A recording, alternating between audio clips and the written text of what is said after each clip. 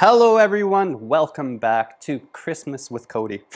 and what do I have here? Hmm, is it lunchtime? No, these are not for me. What are they? Well, we have a cookie tray, a big orange crispy carrot, a tall glass of cold white milk here, and six lovely, delicious, maybe chocolate cookies? I don't know. I'd have to eat one to find out.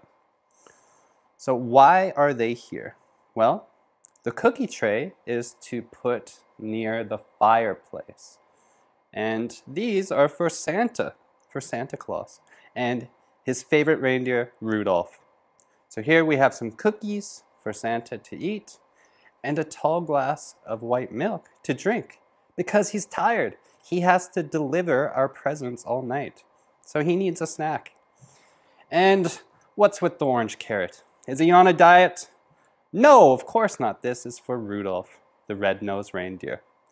So these are the things, and that is where we put them. Near the fireplace, on the cookie tray, we have some cookies, a glass of milk, and a carrot.